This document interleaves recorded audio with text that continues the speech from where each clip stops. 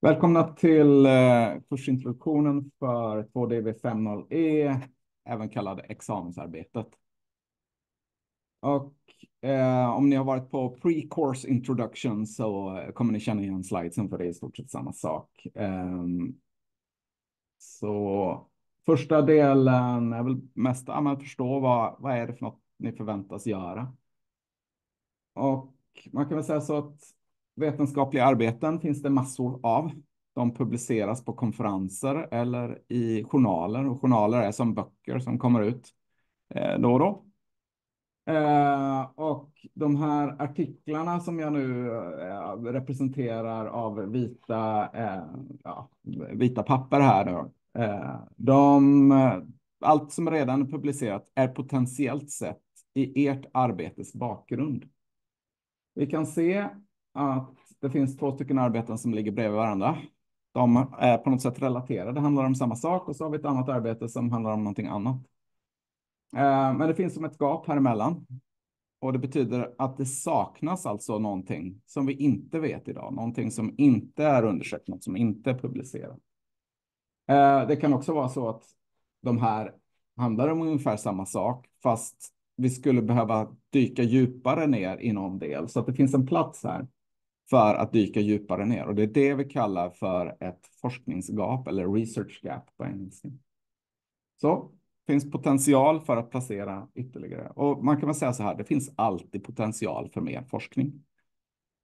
Eh, så ni kommer eh, idag börja arbeta med att söka och hitta sådana här artiklar, för det är superviktigt. Om vi inte har sett den här platsen här så kan vi inte påbörja arbetet helt enkelt. Så det här är det viktigare än att ni har en bra idé. För det är så här ni får er idé. Ehm. Det, det man gör så att säga, och det alla är ute efter att ni ska göra, det är ett kunskapsbidrag. Det är inte att ni ska lösa någons problem eh, med kod till exempel, utan ni ska förändra det kunskapslandskapet som redan finns. Det vill säga, ni ska, ni ska ta fram ny kunskap. Det är er uppgift. Och det här skiljer ju sig ganska mycket från eh, de flesta laborationer och sånt där som ni har haft. Eh, för att där så lös, har ni ju löst ett redan löst problem, kan man väl säga. Det kan mycket väl vara väldigt likt också laborationer och sånt. Men fokus är egentligen på att någon annan än er själva ska få ny kunskap om det som, som finns här i det här forskningsskapet. Eh, ett forskningsskap är alltid, skulle jag säga, större än vad kunskapsbidraget är. Så bara för att vi ser att det saknas forskning, låt säga att det är ett jättestort forskningsskap, det saknas jättemycket forskning, så betyder inte ni att ni behöver fylla hela forskningsskapet heller, utan ni gör ett bidrag och ni gör det på ett bra sätt så att ni faktiskt lämnar det.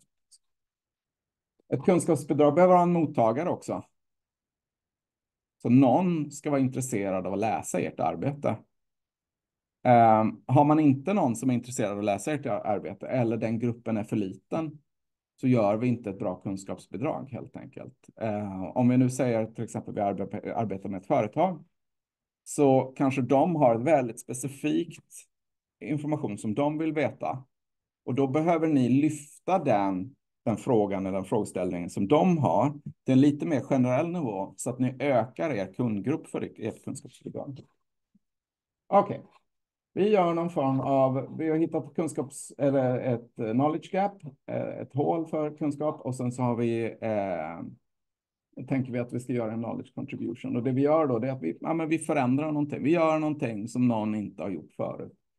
Och det kan vara en stor förändring eller det kan vara en liten förändring. Det kan vara att göra samma sak som någon har gjort förut, fast med kanske med, en ny, eh, med ett nytt datasätt. Det är bra att andra har gjort ungefärligt likadant, för vi behöver kunna jämföra oss med varandra. Vi gör någon förändring, vi kanske programmerar någonting eller vi, eh, vi gör ett experiment eller någonting sånt där. Och vad vi än gör så är det viktigt att vi innan vi börjar göra det funderar på hur ska jag kunna utvärdera? Hur ska jag kunna få kunskap ut ur det jag har gjort? Därför har jag skrivit careful evaluation här. Uh, och det här är också någonting som i uppsatser ibland saknas och därför blir de inte godkända. Så det, jag kommer ibland eh, hotas lite under den här kursintroduktionen och det är med bästa eh, möjliga avsikt att ni ska passera igenom. Men låt säga att vi gör någon, någon implementerar någonting, men vi utvärderar inte riktigt det vi implementerar, utan vi visar lite screenshot från vårt program eller så där. Men vi har egentligen inte eh, undersökt någonting. Då, då finns det liksom ingen, eh, finns det inget evidens, finns det inga, jag ska inte använda ordet bevis, men finns det egentligen inga ledtrådar till eh, som någon kan använda för att veta om ni har, har gjort bra eller inte. Okej, okay. Sen så tar man existerande kunskaper, det kan vara flera stycken här nu, eh, och så tar man resultatet från ens utvärdering och så sätter man ihop dem. Så låt säga att någon har gjort tidigare gjort ett experiment som liknar vårt experiment. Ni gör också ett experiment, utvärderar det noga. Och här är ert experiment. De sakerna tillsammans blir er studie. Så det är egentligen, er studie står inte fritt ifrån existerande kunskap, utan existerande kunskap tillsammans med er studie. Så här har vi, jag läste en, en uppsats från eh, Chalmers precis, som jag, vi inte hade släppt igenom här. Eh, för, och anledningen till att vi inte hade släppt igenom den uppsatsen var att de berättade bara vad de själva hade gjort. Berättade inte vad de andra hade gjort. De hade byggt ett bryggverk, det här var en uppsats i kemi. Och varför jag läser den är ju för att jag är intresserad av öl just nu. Men eh, de hade byggt ett, ett bryggverk, men de pratar inte om existerande bryggverk och hur de fungerar och vad, hur deras bryggverk är bättre eller sämre eller mm, om man nu ska säga hade, hade velat få en, en, en riktig uppsats av deras så hade de behövt titta på kanske tre, fyra bryggverk innan de byggde sitt eget. För om man saknar den komponenten som den här uppsatsen gjorde, Eh, då, ja, men jag vet ju egentligen inte om, borde jag läsa deras uppsats överhuvudtaget? Kan jag lita på deras resultat? För de, de står helt fritt liksom. Men om vi säger att de hade tittat på tre existerande bryggverk och hade hittat mättal för hur, låt säga hur jämnt de kan hålla temperaturen och sånt där. Och sen tillför de sitt, sin kunskap där de har mätt på sitt bryggverk, sin careful evaluation, de hade mätt temperaturer. Tillsammans berättar det någonting då att okej, okay, vårt var lite sämre på det här sättet, men var lite bättre på det här sättet. Så att okej, okay. nu efter då så blir ert arbete, slutsatsen av ert arbete blir en del av bakgrunden till nästa generations. Eh, alla här har eh, sett Horsepress och vet att det finns en kurshemsida där och på den kurshemsidan så finns saker och ting som är statiska, som inte ändras så ofta. Det finns en hel del information om hur kursen fungerar i olika faser och så vidare. Så den kurshemsidan så tycker jag att ni ska titta in på. Det finns absolut en länk ifrån Slack och under titeln Slack så finns det en länk till kurshemsidan så att ni kan hitta den. Eh, på kurshemsidan så finns även någonting som jag brukar kalla för kommunikationsstrategi och alla ni har läst mina kurser tidigare så eh, kommunikationsstrategin är i stort sett så här. För alla frågor så vill jag att ni ställer dem i Slack. Främst i kurskanalen i Slack. Så allt dynamiskt händer i Slack. Jag postar, jag sätter dem som pinned items. Nu tror jag att det finns mer än 100 pinned items i den här kurskanalen, för jag skapar inte en ny kurskanal varje år, utan den får gå, för vi har alltid några studenter som som eh, ja, man kanske har läst kursen i höstas, men behöver fortsätta kursen på våren och så vidare. Eh, så ni behöver inte läsa gamla pinned posts, utan de som från och med nu eh, och framåt. Och så placerar ni en liten sån här eh, reaction på de pin posts. Eh, vill man hitta sina pin posts kan man klicka på pin här uppe så får man bara se dem. Annars så scrolla igenom dem brukar ha en annan, eh, lite annan färg. Jag brukar lägga en länk till schemat. Jag har nog kanske inte skapat för 2024 ännu. Reagera på alla pinna poster eh, är jätteviktigt för att då vet jag att jag har kommunicerat ut till min klass.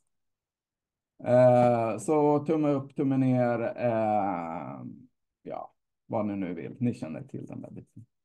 På kursomsidan så finns det en tidslinje också. Den berättar någorlunda om hur kursen är tänkt att gå. Eh, och vem det är som ska göra vad. Och då kan vi se att det är liksom, nu var det här hösten 2023 och här nere kommer våren 2024. Så jag har gjort den här tidslinjen, men jag har kanske inte riktigt tänkt igenom exakt med helger och sånt där, utan jag har satt ungefärliga datum här. Eh, så det kan vara så att de här datumen förändras lite grann, men råkar vi befinna oss nära en deadline och jag förändrar den så kommer jag förändra den till er fördel. Det vill säga att jag kommer flytta fram deadline lite grann. Eh, vi ser vem det är som är ansvarig här, så att från början då så har vi eh, kurs, kursintroduktionen, jag och den första workshopen som heter Research Area som vi också gör idag.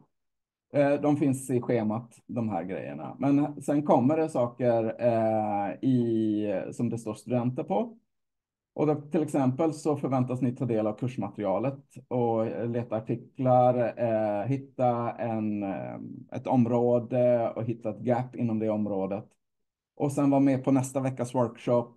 Eh, och eh, ja, jag kommer ha lite undervisning under tiden liksom, som jag har lagt in. Det är nytt för i år att jag har eh, handledning genom hela kursen för er. Och den handledningen ska framför allt handla om sånt som inte är ämnesspecifikt, som inte handlar om era ämnen som ni har i era uppsatser, utan handlar om att skriva uppsatser överhuvudtaget eller sådär. Eh, jag gör så gott jag kan med den tiden vi har, men det är hundra studenter på två timmar, så eh, ja, kom gärna med generella frågor, för det är bra. Kom med era frågor till den handledningen. Men det ska inte ersätta att jobba med en handledare som är en stor del. Eh, sen kommer även en eh, workshop som heter Scientific Methods där vi pratar om hur vi gör en noggrann utvärdering. Och sen så i slutet av månaden här nu, om inte så himla lång tid egentligen, så förväntas ni lämna in den första ver eh, versionen av er Student Project Proposal, som är ett dokument som beskriver ett studentprojekt helt enkelt. Och det ska man göra oavsett om man får ett projekt från ett företag eller om man tar ett projekt som en forskare här har, så kommer ni ändå lämna in en studie project proposal. Och workshopparna är specifikt till för att ni ska lyckas med den uppgiften. Och nu precis i början så är handledningsfokus också att ni ska lyckas få fram detta. Det är ett specifikt, ett separat dokument från er uppsats som är bara inriktat på att få igång projekten så gott som möjligt. Men allt ni gör i SPP är tänkt att kunna återanvändas i er uppsats. Så tänk inte att ni skriver först en uppsats och sen en till, liksom. utan allt som ni skriver i er SPP ska kunna återanvändas. Det finns lite sådana här delar som handlar om kanske risker för projektet och sånt där, som sen kanske inte finns med som text i er slutgiltiga uppsats. Um, ja, så den första deadlinen kommer att vara 31 januari 23.59. Och ni kommer lämna in den via ett formulär i Slack. Uh, utifrån den så kommer jag läsa de här SPP, det är ganska korta dokument, uh, ett par sidor bara liksom. Och utifrån den så kommer man tilldela en handledare och examinator. Det är i stort sett vad vi säger då. Det här projektet är ett datavetenskapligt projekt som vi kan starta upp. Annars tänker vi inte, är det inte ett projekt som vi tror på så kommer vi inte starta upp projektet. Helt enkelt. Då får ni alltså inte någon handledare. Eh, så. Ni kan redan från början att eh, försöka hitta en handledare eller hitta liksom ett projekt som har en person knuten till sig här på universitetet. Och tänk då alla lärare som ni haft i datavetenskap skulle kunna handleda de här projekten.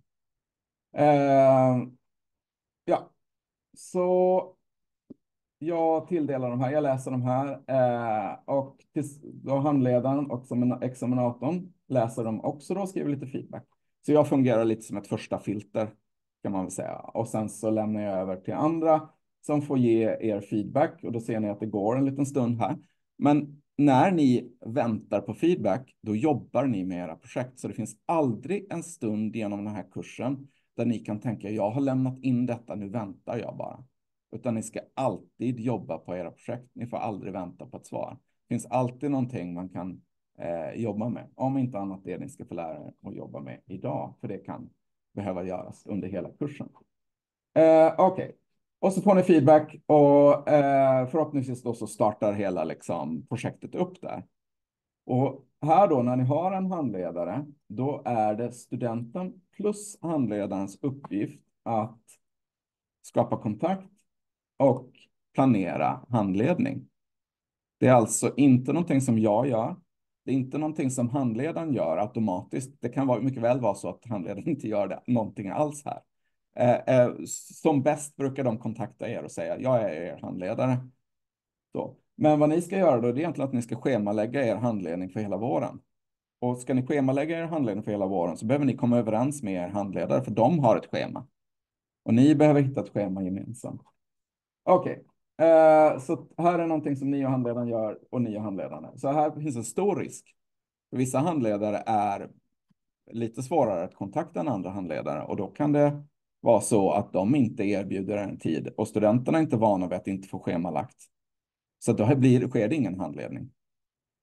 Uh, och ja, så vidare. Uh, så den här deadlinen, det är er egen deadline. Jag bryr mig inte om att det har skett eller inte, för jag är bara kursansvarig. Ni får en handledare, sen så sköter ni det med handledaren. Men som ni är den som har störst intresse av projektet kan man väl säga för, för de flesta uppsatser. Så det är ni som driver projektet. Det betyder att ni introducerar kontakter med handledare och ser också till att det blir de här grejerna som ni behöver.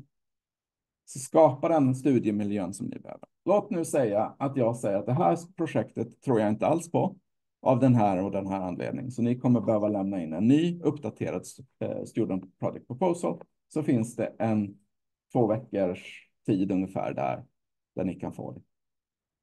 Uh, ja. Och har man då inte fått igång ett projekt efter den här tiden så brukar det vara för sent att starta upp projektet och hinna. Och då menar jag för sent för att ni har andra kurser och andra saker som ni behöver göra också. Så startar projektet inte upp så måste man tänka att all den tiden som vi skulle jobbat på projektet i början här behöver ni kanske lägga utanför tid. Men eh, jag försöker alltid få igång projekt, även om det låt säga är i april. Så försöker jag få igång projekten. Men eh, ni kommer inte hinna helt enkelt. Så eh, kalendertiden är superviktig här att, eh, att ligga på nu i början. Tänk inte ny kurs, jag kan slappna av, utan ny kurs, full fart. Eh, jag skräms lite och det behöver inte vara så hemskt, men eh, ja, jag ser ju eh, vad, så, vad, vad det betyder när, när det Okej, okay, sen jobbar ni med er handledare och då har ni, ja, mitt förslag är book, book weekly meetings. Och då ska ni veta att handledaren kanske har 20 till 30 minuter per, hej, 20 till 30 minuter per vecka egentligen att lägga på er totalt. Eh, så ni kan inte ha en timme weekly meetings med dem varje vecka. Så vissa handledare kanske bara kan ha, ha möten varannan vecka. Vissa kan ha varje vecka. Har ni varannan vecka så har de en hel timme på sig. Behöver de då läsa någonting som ni skickar till dem ska ni tänka att då kanske de behöver en halvtimme för att läsa det och sen eh, kan ni ha ett möte på en halvtimme. Eh, handledarna har ja, men 15 timmar eller eh, 15-20 timmar sådär på, eh, på handledning. Så det är inte alls mycket tid egentligen som de har. Så använd den tiden på ett vist sätt. Om ni skickar någonting som är jättesvårläst till handledaren så kommer den inte kunna eh, jobba mer än att jobba med det här svårlästa på all, all sin tid. Eh, om ni skickar någonting som är väldigt specifikt, alltså där ni redan har processat frågan så kommer ni spara mer tid och då har handledaren mer tid att, att jobba senare. I slutet av av eh, kursen kommer handledaren behöva läsa er uppsats. Eh, och mitt förslag är att ni tänker att de läser den två gånger genom hela kursen så att säga. De har alltså inte tid på sina timmar att läsa den fem gånger. Ni kan inte skicka så här, okej, okay, men här är vårt nuvarande, eh, läs igenom och ge mig feedback på den och sen kommer den igen nästa vecka. Det har de inte tid med egentligen. Eh, men ni jobbar med en handledare här i alla fall. Nu är vi fortfarande hyfsat i början på kursen och någonstans nu här i mars där, då behöver ni ha ett möte med er examinator. Nu har ni jobbat med handledaren en, en månad ungefär och då behöver examinatorn komma med på tåget.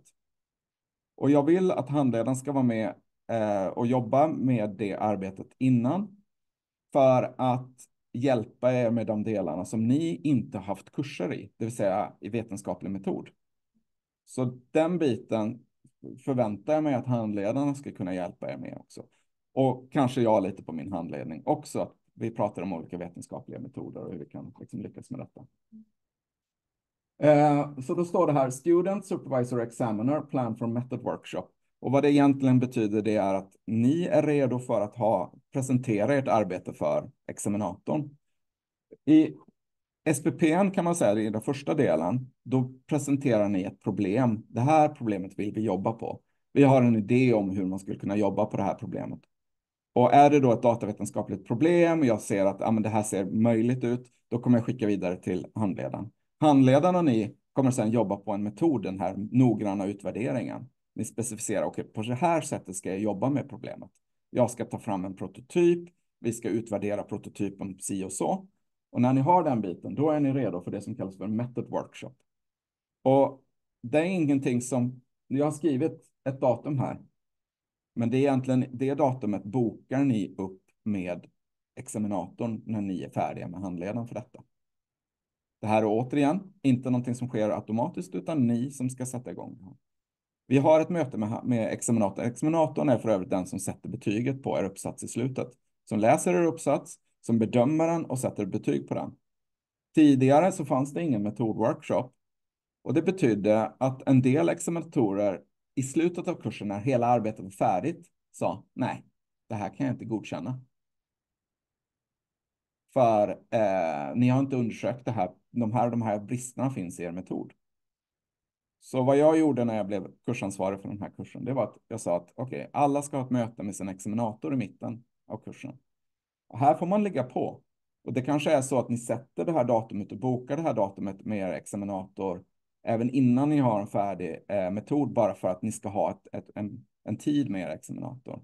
Vissa examinatorer är fullbokade liksom.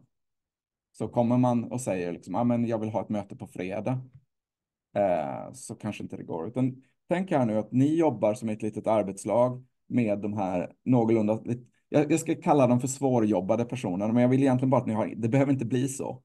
Om jag är examinator ska jag försöka vara lättjobbad liksom. Men det kan vara de som är, låt säga jag hade den tyske professorn. Han var väldigt bestämd. Jag kommer bara läsa uppsatsen en gång, så skickar du den till mig så är det den gången. Blir det, läser jag den då den är underkänd så är den underkänd. Det var mina conditions. Liksom. Så ni behöver känna in lite hur de här personerna fungerar och då kan det vara bra. Men ni är ansvariga för att driva det här projektet mot de här personerna. Så därför, mycket av de här deadlinesen har jag skrivit, men det är era deadlines att fixa saker till. Det är inte ni som behöver fixa saker till mig. Okej. Okay. Eh, nu har jag skrämt dig jättemycket, jag vet. Men så här funkar eh, det. Så ni har det där arbetet med examinatorn. Förhoppningsvis säger examinatorn, ja, den här grejen ser bra ut och vi kan fortsätta det här projektet. Eller, jag tror inte riktigt på den här metoden så vi behöver förändra. Eh, ni kanske behöver få in eh, flera försöksobjekt här i den här. Eller har ni tänkt på, finns det några färdiga datasätt och så vidare. Men vad det är nu, examinatorn har ännu mindre tid än handledaren med att jobba. En examinator har fem timmar totalt på er uppsats. Och det innefattar att läsa uppsatsen i slutet, att vara med på den här metodworkshopen. Så jag har snott en halvtimme av den. Det betyder att ni behöver göra en riktigt bra presentation som förklarar arbetet och er metod på en kvart. Och sen har ni en kvarts diskussion med examinatorn. Här. Så om ni är väldigt luddiga på den här första kvarten under er presentation, då kommer examinatorn inte kunna ge er feedback. Då kanske den inte förstår projektet, då kanske inte den kan ge feedbacken.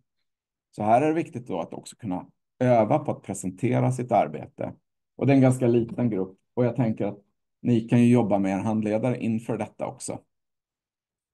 Ehm, och sen så har ni fortsatt eh, möten med er eh, handledare. Och någonstans i början av maj här så har vi en peer review-process som jag står för. Den är frivillig, men det är bra att läsa en annan students uppsats. De kanske är då 70% färdiga, 80% färdiga, liksom skrivet sådär. Eh, ni får reda på ett, ett review-protokoll från mig de här och de här sakerna ska ni titta på i de här uppsatserna. Och det är ju också bra för att då kan ni titta på de sakerna i er egen uppsats. Eh, jag kallar det för en workshop här. Eh, och jag hade en idé om att ni ska presentera varandras uppsatser. Jag har haft den idén i två år eller någonting, men det har aldrig blivit så. Så. Eh, för att i den här perioden här så brukar ni ha för mycket att göra. Så vad det har blivit i stort sett är att ni fyller i ett formulär med, med att ge feedback till varandra och sen så eh, distribuerar jag vidare det här formuläret, svaren till den studenten. Okej, okay, men ni får lite feedback av varandra här helt enkelt i maj. Och sen i mitten av maj så lämnar ni in uppsatsen till handledaren. Och här då en vecka ungefär har handledaren på att eh, ge feedback till er, läsaren ge feedback och säga att ja, jag tror att du kan presentera den här uppsatsen eller inte. Och anledningen till att handledaren gör det här. Eh, ni får presentera även om handledaren säger nej. Men blir ni underkända då så får ni göra ett nytt arbete. Varsågod. Så handledaren säger ja om arbetet har kommit tillräckligt långt för att kunna presenteras. Det är deras eh, uppgift så att säga, skydda er lite grann. Jag kan säga så här, eh, jag var lite guilty för detta nu i höstas. Jag släppte igenom en student som jag kände var lite, lite för nära ofärdig. Och det betyder att jag sen fick gå och prata med examinatorn och säga att jag vill att vi väntar lite med examinationen av det här arbetet. Så att studenten hinner jobba lite till liksom, på det. Och det var lite, det var lite dåligt gjort av mig. Så, eh, och, ja, och ett av arbetena som jag, eh, om jag hade då fått, jag fick det som examinator nu, fick jag det och jag ser att det saknar helt en, en, ett viktigt kapitel i uppsatsen. Så då hade jag faktiskt kunnat säga F på det här. Eh, så vad vi vill egentligen, vad jag är ute efter, det är att när ni eh, lämnar in här nu i mitten av maj så ska arbetet vara hyfsat färdigt. Liksom. Eh, det, det, det, får inte sakna någon, någon eh, viktig komponent. Absolut, det kan vara lite stavfel och det kan vara någon del som behöver skrivas om och så där. Ja, utifrån det i alla fall, den här listan av studenter som kan presentera, eh, så tilldelar jag en opponent. Och opponenten, då är man lite mera, eh, har man lite mer ansvar som, eh, som student där. Den, man ska läsa eh, uppsatsen man opponerar på och man ger feedback på den. Och sen i schemat här nu så finns det eh, redan nu det är sista veckan som ni går här och det är eh, samma vecka som ni har er examenshögtid och sånt där. Eh, så presenterar ni ert, ert arbete och är opponent på någon annan students arbete. Vi pratar om det sen. Och sen får man feedback från det, det man skickar in där då det, till, den, till opponenten. Det är också den som examinatorn får tillgång till. Eh, och examinatorn har lite tid på sig att ge lite feedback och Eh, ni, har, ni kan säga att det är bara tre dagar där på att ge feedback eller ge en ny version till, eh, till examinatorn och den betygsätts den versionen. Så att de ger feedback, ni har möjlighet att förändra saker men bara kort tid egentligen. Och det är den versionen som sedan betygsätts. Eh, och sen ska det ju naturligtvis ske en plagiatcheck. Eh, och så till slut ska det leda till att er uppsats blir eh, ni kommer behöva jobba i par. Ni kan jobba i par över klassgränser, eh, distanscampus, eh, alltså Kalmar-studenter kan jobba med Växjö-studenter och sånt där, inga problem. Eh, alla delar går att göra på distans i kursen. Eh, ja, allting spelas dock inte in som de här workshopparna spelas inte in. Det är viktigt att förbereda sig för ett, eh, när man, det är ett grupparbete om man jobbar i par helt enkelt. Så för att grupparbeten ska lyckas så eh, tycker jag att det är viktigt att man planerar det här, att man ser till att man kan, faktiskt kan jobba tillsammans. Eh, att man schemalägger sig och tänker då att om jag inte har tid att prata med den andra studenten, om den låt säga, alltid jobbar i veckorna och bara kan jobba med detta arbete på helgen och du bara kan jobba i veckorna och, den, eh, och inte kan jobba på helgen så är det, blir det ingen bra grupp helt enkelt. Så se till den biten. Prata även om betygs, eh, ja, men vad ni tänker är för betyg, om det är någon som liksom måste ha högsta betyg som jobbar med någon som bara vill bli godkänd, så är det här någonting som kanske handledare och examinator också behöver veta. Så att man kan ha en diskussion med examinatorn. Hur ser vi till att vi kan eh, i slutändan sätta olika betyg på Lättast är det ju om båda studenterna har samma eh, tanke kring det. Eh, ja, för, för er skull igen då. Vi hade någon student som blev sjuk mitt i arbetet som inte kunde fortsätta arbetet då. Eh, och då är det ganska viktigt att den andra studenten inte sitter helt på pottan. Så min tanke det är att man, man har en plan om det här är min del av arbetet, det här är din del av arbetet. Och de delarna måste ju innefatta alla arbetets faser för att ni ska bli godkända. Så vad man kan göra till exempel är att man kan ha olika forskningsfrågor. Alltså er knowledge contribution kan delas upp i två olika delar till exempel. Kunskapsbidrag kan delas upp i två delar. Eller ni har samma kunskapsbidrag men ni har två olika utvärderingsdelar som, är, som ni har extra fokus på. Så det kanske är så att jag utvärderar genom att göra ett intervjuer och du utvärderar genom att göra ett experiment. Uh, peer review och op oppositionen är individuell. Och jag vill att ni genom hela arbetet också har spårbara ändringar kan man väl säga. Alltså allt ni skriver ska vara spårbart. Så vi hade ett arbete i våras där studenterna, eh, ja, det gick åt pipsvängen kan man säga. Den första studenten jobbade jättemycket i början av arbetet. Den andra studenten jobbade jättemycket i slutet av arbetet. Och detta är fortfarande inte betygsatt av den anledningen. Eh, där är det jätteviktigt att vi kan se att båda studenterna har varit aktiva och har varit aktiva genom alla faser också.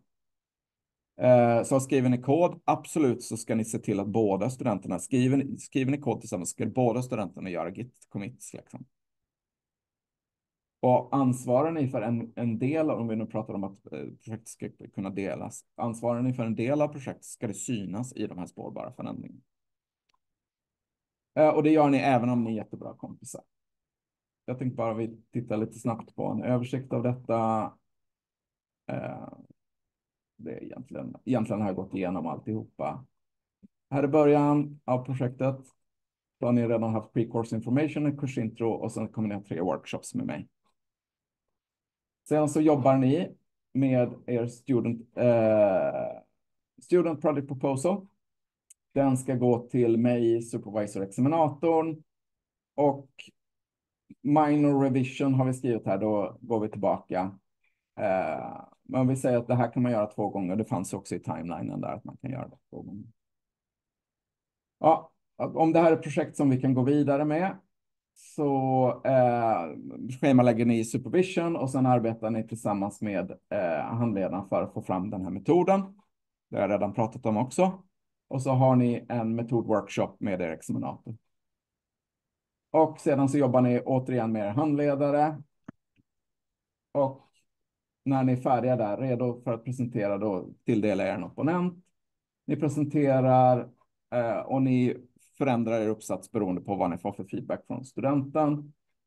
Examinatorn gör också eh, en review av det då och eh, ni har möjlighet att göra en mindre revision efter examinatorn. Om nu examinatorn tycker att det här är skit så kan vi faktiskt faila er där. Då får ni göra en ny uppsats. Vi kommer ha då ett möte, thesis fail meeting, och det kommer gå tillbaka till ja, utifrån det mötet så försöker man ta reda på vad är det som egentligen som gick fel och så går det tillbaka till handledaren arbetet. Då. Det kan vara då till exempel att ni får jobba under sommaren med arbetet och så gör ni en ny presentation på hösten. Om det nu ser bra ut så kollar vi plagiarismen. Ser det bra ut så eh, är ni ju då så att säga färdiga och då ska ni registreras i bilen.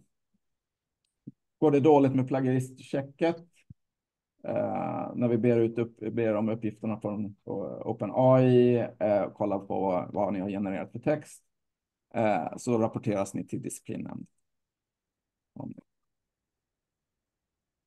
Men det kan vara så att plagiatchecken bara är några små grejer. Liksom. Det brukar vara någon mening så där man har fått några, ett par ord för mycket likt en källtext.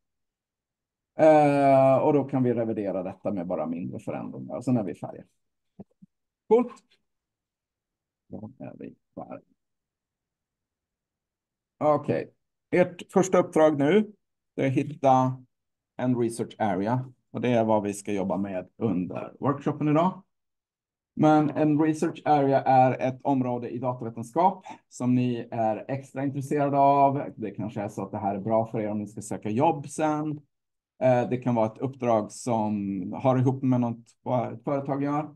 Det kan vara ett forskningsprojekt. Det kan vara någonting som ni tycker är meningsfullt för samhället eller en teknik som är väldigt het just nu.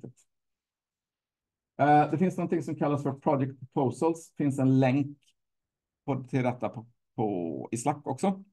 Jag är ganska säker på. Ehm, um, som man kan titta på. Så det ser inte ut så här längre. För det här var hur det såg ut tidigare. Men i stort sett är det samma sak. Det finns en topic. eh, det finns en kontaktperson och det finns en beskrivning av projektet. Jag tror jag har lagt in ett projekt där som är eh, utan beskrivning och bara skrivit en titel för jag har inte orkat skriva ihop någonting ännu där. Eh, men bara för att det finns ett färdigt projekt som någon vill att ni ska göra så är det inte ett project proposal. Det här är, eller det är inte ett student project proposal. Det här är ett project proposal. Det är vad någon annan vill att ni ska göra. Så det behöver omvandlas till ett student product. Okej, okay. och det är det som blir vår uppgift att börja med idag kan man väl säga. Så datavetenskap är ett stort och komplext område. Och eh, jag tänker att jag kommer titta på detta under workshopen. Men ni kan själva läsa på vad datavetenskap är. Förhoppningsvis har ni en bra koll på detta. Man kan väl säga att alla era DV-kurser borde vara datavetenskap. Eh, borde ha sin grund i datavetenskap. Och jag tycker att ert arbete ska bygga minst på en kurs ni har haft tidigare. Så att ni inte tar ett nytt område eller en helt, jag ska säga, eh, ni ska inte börja från noll helt enkelt när man börjar med, med, med det. Okej. Okay. Vi, om man nu får ett projekt, ett företag som vill att man ska göra någonting, Eh, eller ett forskningsprojekt och så där, så är det väldigt vanligt att vi har vad jag kallar för en application area. Och, det, eh, och så har vi research area. Och research area definierar jag som inom datavetenskap. Det är alltså någonting som ni, eh, ja, som är, som är datavetenskap. Det kan vara algoritmer och datastrukturer till exempel. Eh, men algoritmer och datastrukturer kan till exempel appliceras på att vi vill kunna söka kortaste vägen på en karta. Och att geografi och eh, vad det nu kan heta som man ritar kartor är ett appliceringsområde för datavetenskap. Det är inte datavetenskap i sig. Eh, så datavetenskap i sig handlar om kanske om algoritmerna då som används, om det nu är Dijkstras algoritm eller om det är eh, A-stjärna eller vad vi nu använder för algoritmer. Så eh, det gäller att ha koll på de här grejerna. För det är rätt lätt att vi blandar ihop koncepten och sen så plötsligt så har vi gjort ett arbete i biologi eller psykologi eller pedagogik. För att vi har liksom, ja, men vi har, vi har liksom hamnat lite snett.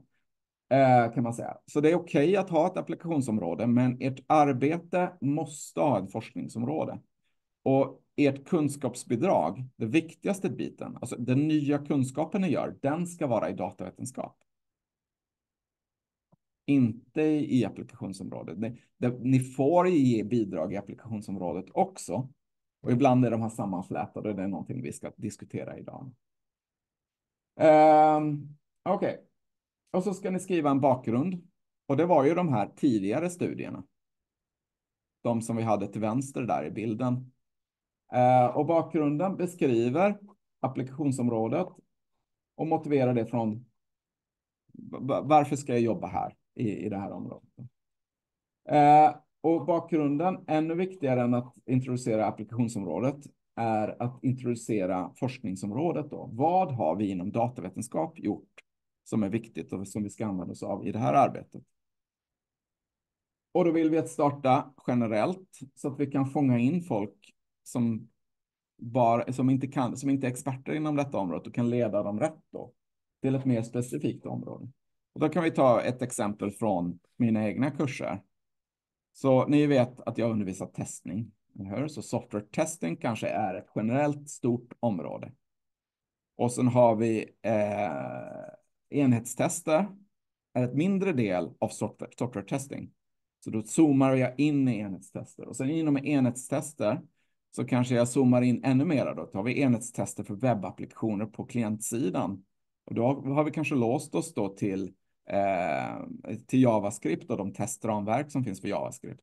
Och sen skulle jag kunna gå ännu djupare här och säga till exempel att ja, men jag vill få automatgenererade enhetstester för just eh, JavaScript. Så att jag inte skriver dem själv, utan till exempel en stor språkmotor skriver dem till mig. Jag får dem genererade av GPT-4. Så då har vi zoomat ännu längre ner. Då är vårt research area i dess spetsigaste form är till exempel hur effektiva är automatgenererade eh, enhetstester för JavaScript som genereras av stora språkmodeller. Och sen så utifrån där då, där är liksom spetsen. Sen kan du ha ett applikationsområde för det här, till exempel att ni gör det här ute på ett företag som har problem med sin testning och de jobbar med eh, e-handel. Så, men e-handel i sig då är kanske inte ert fokus egentligen, utan ni jobbar ju med de här att generera automatiska enhetstester med hjälp av stora språkmodeller. Okej, okay. eh, ni behöver hitta de andra som också har skrivit om automatgenererade eh, enhetstester. Och de kanske har skrivit om det i Java. Så det är ett relaterat arbete för dem att generera, genererat eh, tester i Java. Och ert bidrag då, eh, knowledge gapet kanske är att det är ingen som är genererat för JavaScript ännu. Men ni behöver berätta om de andra som har genererat tester. Och de kan skilja sig återifrån er. Så det är någonting som kallas för related work och alla arbetar med. Så att hitta ett forskningsarea då, det är eh, vårt mål idag och vad vi ska sätta igång med. Eh, och jag kan säga så här, forskningsområdet, det kan skilja sig åt beroende på vilket program ni läser, men det ska passa ert program. Så står det webbprogrammerare i ett program så kanske det ska vara inom webbprogrammering. Liksom. Och um, ja, preferably built on a course you have taken har jag skrivit här. Och det handlar ju om att ni ska inte stå helt stilla. Ni ska inte ha noll mm. kunskap om det här forskningsområdet. Innan. Har forskningspotential. Och det betyder att ni har hittat relaterade arbeten som har fairly recent. Fairly recent, det kanske är inom fem år. Meningsfullt för er. Ska ni jobba stenhårt med det här nu under hela våren så är det viktigt att ni tycker att det är kul. Är det inte något som intresserar er alls så kommer det bara vara en pina att jobba med det. Så ta någonting som är meningsfullt för er. Det står också så här i er kursplan att det ska vara development work in computer science. Det vill säga att ni bör programmera. Det här är väl lite grann snälla med tolkningarna. Och i uppsatsen som ni ska titta på och läsa idag och analysera över lunchen här så kommer det här vara med väldigt stor... Eh, eh, ja, vi har varit väldigt snälla och sagt att det här är development work. Egentligen kanske det inte är det. Så. Men jag tycker att det är ett bra exempel då, att ni får se ett sådant exempel, för då kan ni också se. Ni kanske inte tycker att det här är development work. Eh, och det ligger jättemycket på gränsen kan jag säga det här. Jag är inte säker på att jag hade godkänt det idag. Så. Men det är bra, bra att se sådana också då som ligger lite utanför. Men helst vill jag att ni programmerar någonstans i arbetet så att ni inte gör helt teoretiska arbeten. Dagens arbete är helt teoretiskt. Jag kan tillåta hela helt teoretiska arbetet om det är väldigt tydligt att det här är ett kunskapsbidrag inom computer science. Problemet med arbetet ni ska titta på idag, är jag vill inte spoila för mycket, det ska ni ta reda på vad som är problemet. Så eh, övningen som vi ska börja med eh, i workshopen är att ni ska hitta ett, ett forskningspapper som är så nära som möjligt till någonting ni är intresserade av att arbeta med. Och ja, jag tänker att eh, detta är redan sagt. Och det har vi redan sagt också. Men den här kan vi gå igenom lite. Detta ska leda fram till de första delarna i ert Student Product Proposal, det vill säga bakgrunden och related work. Så det är de, det vi gör nu ska leda till ett Student Product Proposal. Och Eh, nästa workshop ska leda till problemformuleringen och workshopen efter den ska leda till metoden. Eh, och den här länken, eh, ni har ju de här slidesen, den här länken vill jag att ni ska läsa inför den eh, workshopen. Ett sätt att försöka hitta ett arbete eller ett, ett förslag på ett arbete som verkar bra är att vi gör ett, en liten hisspresentation. Så det är någonting som vi kommer att arbeta med under workshopparna också, att ni ska kunna presentera ett arbete på väldigt kort tid, på 20 sekunder. Ett par stycken meningar egentligen. Och då blir det i stort sett en mening från bakgrunden, eh, en mening om related work, en mening som berättar om problemet som ni försöker lösa, en mening som säger någonting om hur ni tänker utvärdera det, lösningen av det problemet. Ja, där har vi eh, så långt som eh, kursintroduktionen är. Så då vill jag höra först om det är någon fråga. Jag tänker stänga av eh, inspelningen.